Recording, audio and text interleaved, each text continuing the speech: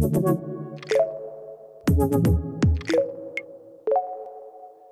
Carl Anthony, managing editor of AutoVision News, and welcome to AutoSens Insights. We are pleased today to be speaking with Amin Abbasi, who is the business development manager at IMEC. And Amin, welcome to the program today.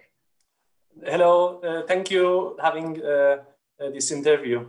Pleased to meet you. So, Amin, I, the first question that I have is tell us a little bit about IMEC. Give us an overview of, of what you do. Okay.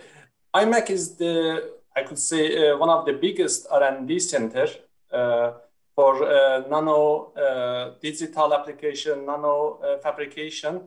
what we are doing, we have a pilot line, 200 millimeter and 300 millimeter pilot line that Uh, can cover the CMOS application, but also in the meantime, we are using this pilot line for the photonic application. I mean, one of the biggest topics right now in the industry is the trends in solid state LiDAR. From your perspective, from your vantage point, what trends, what are the biggest trends you're seeing right now with solid state LiDAR?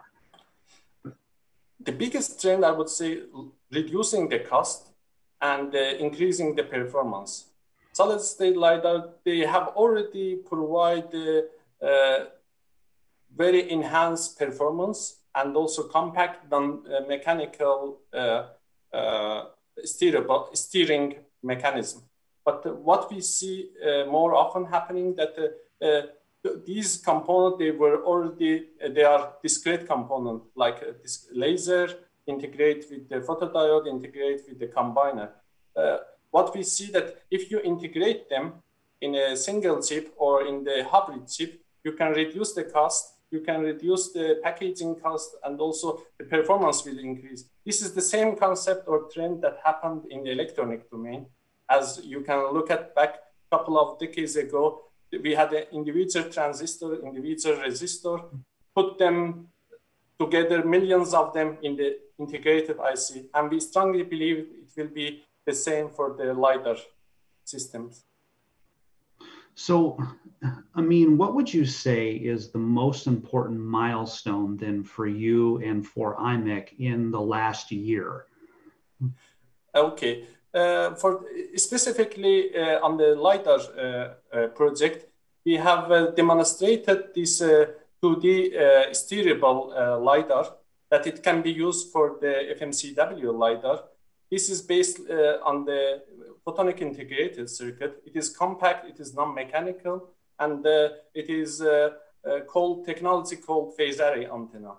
Uh, we also in the same photonic integrated circuit, we have developed this uh, uh, steerable structure light that is a different type of this LiDAR, but it is very similar to what we have seen in Apple new phone, iPhone 12, this integrated LiDAR uh, that can shine the structure light and uh, based on that you can just uh, look at the depths on the vision on the image. So we have also developed this structure light.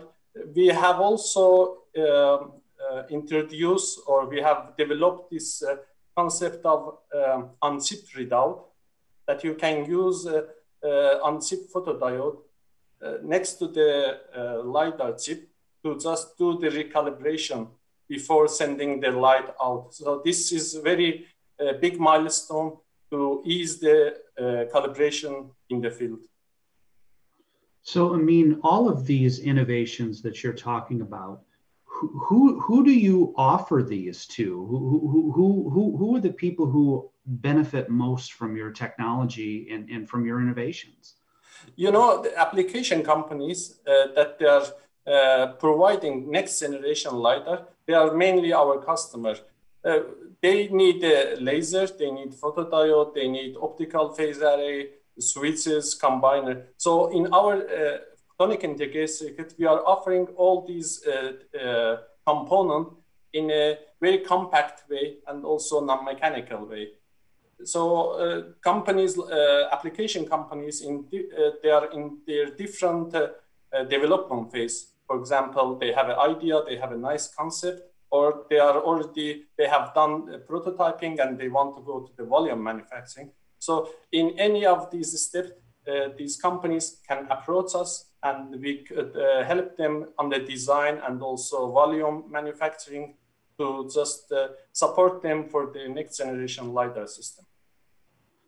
A follow up question, I mean, that I have when you talk about the importance of cost reduction and the importance of packaging and the importance of increasing performance why is that important? Why is that a good thing for customers to be able to have lower cost and increase performance? Why are those things important? So you know that uh, uh, there are different uh, application market. There are uh, niche market like space, uh, radar, uh, or um, I could say robotic. But there are also application that they need a volume like automotive market or the consumer market. Here, you need to really, really reduce the cost and increase the reliability. For application like uh, uh, that uh, they are niche, maybe mechanical solution will uh, be okay. It is bulky, it is costly, but it is performance is good and people can use it. But when you go to the consumer market, you go to automotive, uh, especially for the automotive, reliability is a, a big problem. And if you are using mechanical solution, that uh, it is susceptible to the uh, vibration, to the shock that always happening in the automotive. So you need to just come with a solution that uh, it is compact, it is low cost, and also uh, they don't have an issue with uh, reliability. We believe that these solid state LiDAR are the solution Amin, we've covered a lot about what you do and, and what you offer. Now let's talk about the why. Why should companies work with IMEC on all of the topics that we've discussed today? Okay, IMEC has a unique position uh, compared with the other competitors. We have a flexibility of the academic center, academic facilities, so we could we can tune our process and our design based on the customer need. In the meantime, we have this pilot line, 200 millimeter, 300 millimeter pilot line that you can find in the commercial foundries. But commercial foundries, they don't have that flexibility.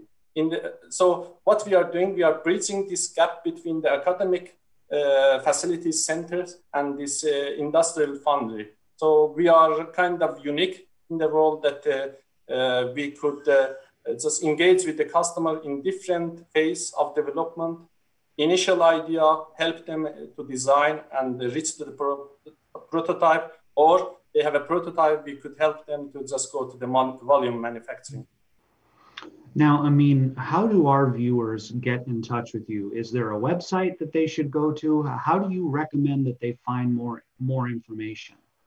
Yes, we have a website uh, uh, that uh, if you go to IMEC uh, uh, website there. We have an optical beamforming uh, page, and also we have a silicon nitride page.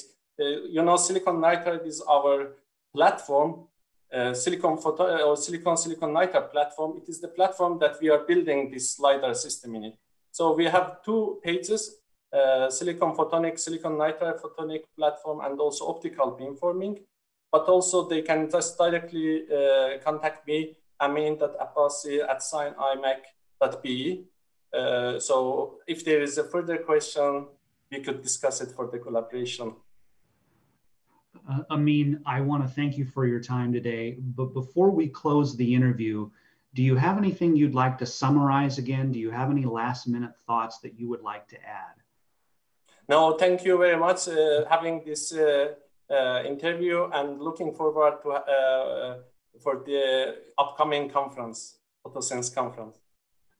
Well, I mean, from all of us here at AutoSens, we want to wish you the best of luck going forward. Thank you for your time today. And for more great AutoSens, you can check out our YouTube channel or our hub. Just search AutoSens.